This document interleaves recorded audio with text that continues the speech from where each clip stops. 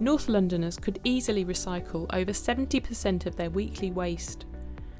Here are 10 tips to make recycling easier and more effective.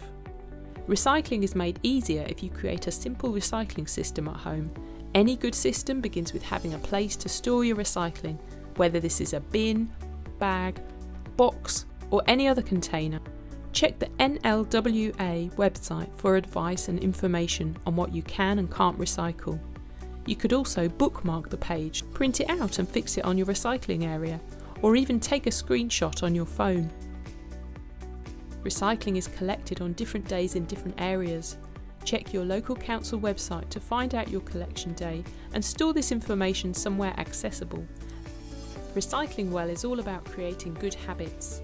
Take your recycling out to your recycling bin on your way to the supermarket, work or school. It's important to remember the recyclables in the bathroom. Shampoo bottles, toilet roll tubes and soap boxes can be recycled. Flatten cardboard boxes or break them up a bit.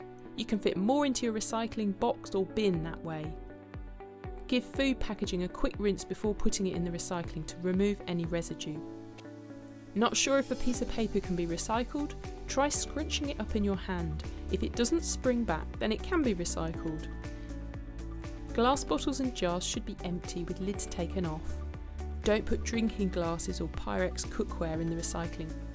And make sure everything is empty and rinsed before it goes in the bin. Check if your council offers food waste recycling services where you live, or consider getting a compost bin if you have outdoor space.